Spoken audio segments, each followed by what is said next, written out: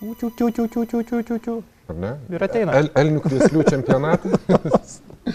Taip, ir šituo bandžiau, ir šiemet bandžiau, ir, ir pavyko, ir kalbėjausi. O ne, ten aš užimčiau, net ne, nepraeičiau atrankos. Aš baubiu kaip jaunas elniukas, o reikia baubti kaip geram patinui. Iš manęs gero patino nebus. Mm, džiaugtis, šokti iš laimės. Wow! Vilkas. Kažin ką daryti dar. Nežinau, kažkas, žinau, yra skambinę 112, sakė, sutikau vilką, galbūt mane su juo. Man skambink, skambinkit čia puliui. Telefoną paskui parašysiu. Žinai, kur yra urvas, ateini iš vakaro, 8 val. dabar sukas išlenda, einu fotografuoju, įsilenda ir viskas. O kodėl 8? Kodėl 8 val. Nežinau, pas, aš kiek fotografuoju vieną barsuką, tai jis visada 8 val. lenda lauką. Nesat matę? Ne, Kai eini, ne. eini mišku ir pradėjo lapis.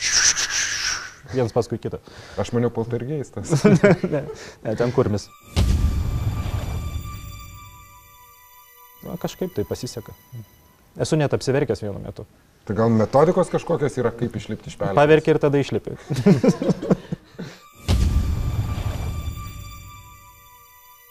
Visas kostiumas yra arklys normalus, kuris užsideda galva, užsideda kūnas. Konstravau visą prie kuprinės, pritvirtinau kūną, kad vilktųsi. Aišku, kojas paralyžiuotos užpakalinės, bet tai gal dėl to yra bėda visa. Bet aš manau, kad dar patobulinsiu ir prie žvėrių šiaip jau atprieėjau. Kažkiek tai ten ir manau, kad prie žvėrių aš jau galėsiu bandyti su juo prieiti ir gal pavyks. Aišku, reikės prieš tai pas arklius nunešti, kad gautų kvapą arklio. O nepapjaus koks nors žvėris, arklį pamatė. Tai va, žvėries aš nebijau, aš bijau dėl žmonių, kad koks ūkininkas nebėgtų manęs gaudyti ir kad koks medžiotojas nepultų šaudyti, nes galvos paralyžiuotas vis tiek vargšas reikia apdabaigti. O prasme, na gerai, pagavai vandeninį, tiksliau, nepagavai, o nufotografavai vandeninį strazdą, kas toliau?